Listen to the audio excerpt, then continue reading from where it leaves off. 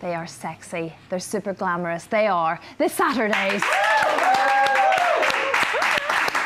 Great to see you. Just the four of you this morning, Yes, obviously. yes, just Frankie doing okay? us. Yeah, she's doing well. She's kind of um, easing herself back into it, but she's fine, and she's we're making sure she rests up for our tour in December. So yeah, she's all good. Thank Good. you. Hold Big tour in December, isn't it? Yeah. How are you going to be with that little...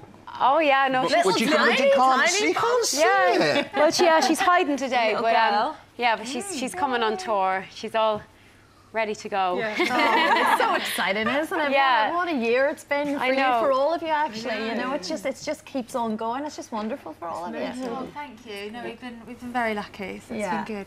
Are you going to have fun time at home over Christmas? Yeah, we've actually got two weeks off, which is like the longest time ever that we've ever had off. I think so. Right after yeah. the tour, we'll need it then as Yeah. well. Yeah, because exactly. we'll I think it would be nice to catch up with the family. Um, Yeah. and eat lots Yeah. of Yeah. food. Yeah. Turkey and Time to grow. yeah. Time, to, time to grow for Christmas. That's what I say. Some of us do that all year round. Not that you can tell.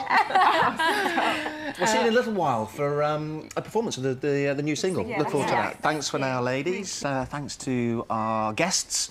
Uh, Kitty's in negotiations with the Saturdays as we speak. Uh, hate to break it to you, but uh, Frankie hasn't left the group. yet, so we just, uh, um, GAY this Saturday. Yes. Good luck on the new um, the, the new career, and you guys start your tour December the second in Bournemouth. Brilliant. right. Good luck to all of you. Thanks for coming in. Yeah, great to have you all.